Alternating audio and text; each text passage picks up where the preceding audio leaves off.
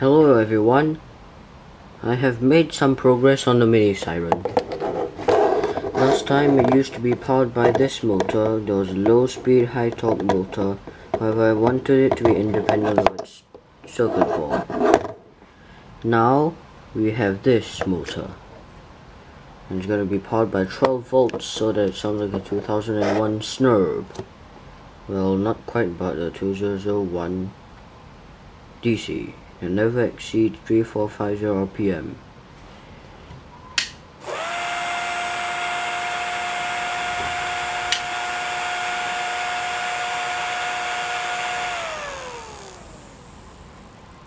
However, this siren is still incomplete, as I need, as I need to find something to supercharge it as intended.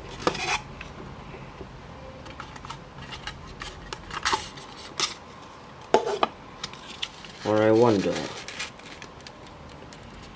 if I can do this. Stick this to here.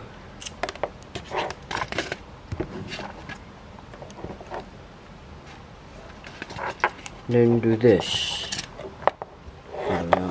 Just place it on the ground and I can show you. Just like that.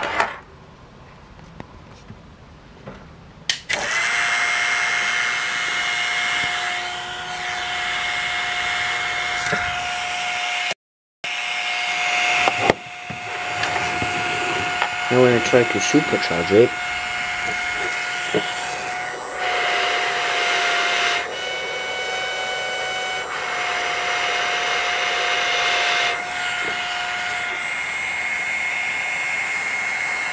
here's the back of the motor.